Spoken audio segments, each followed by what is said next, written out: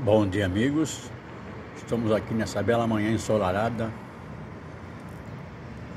Quinta-feira, dia 16 de novembro de 2023. Temperatura bem agradável. Choveu a noite inteira, né? Então, quer dizer que melhorou. Refrescou, né? Tudo calmo na cidade pouco movimento aqui na Pinheiro Machado de Canaã. Final de semana se, se apresenta, né?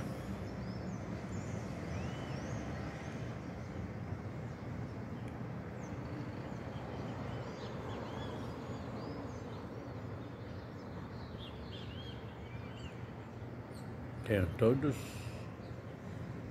uma boa quinta-feira, um bom dia, tudo de bom. Badu, fui.